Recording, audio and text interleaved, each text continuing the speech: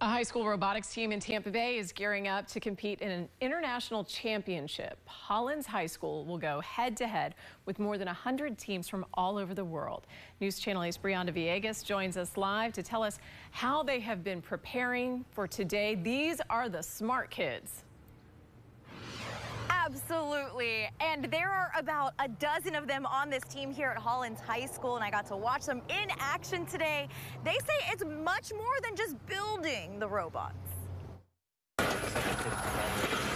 In order to make something that moves around like this, I think it's really fun to learn how to build things with your hands and learn how to program it. Hollins High School junior Alana Hart says, yes, her team has to figure out a design and programming, but they also need to know how to work well with each other. You get to learn a lot, like leadership skills and building skills and other things you can use throughout the rest of your life. And hey, the teamwork is paying off. They're flying to Houston, Texas for an international competition called the FIRST Robotics Championship. You build a robot and you compete against other teams to try and solve that year's game. Going up against 192 schools from around the world. Yeah, it's a pretty big deal. People should really care about this because it's, you know, really the future of the world. And, you know, young engineers, young prospects, people that are going to solve the future world's problems, you know, this is the kind of stuff they get into. This is a great way to cultivate, you know, the young minds of the world. An interest in STEM careers can really start in a classroom like this, which is why Alana says she really hopes to see more girls like her in the robotics world. It's nice to see the community of other women in STEM that I've met at robotics competitions really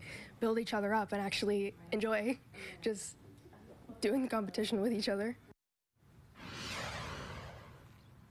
And that countdown is on for that World Championship. It's in exactly two weeks. And if you at home want to donate to support this robotics team, I'll have more info on how to do that on our WFLA app.